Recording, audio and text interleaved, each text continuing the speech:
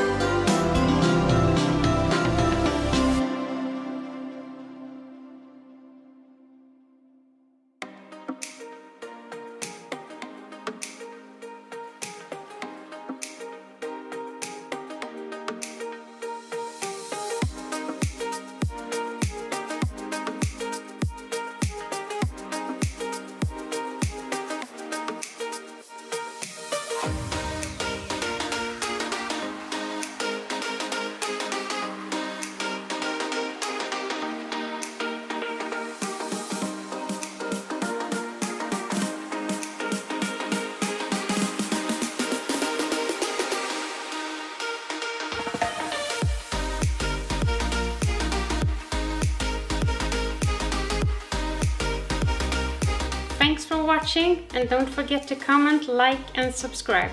Bye!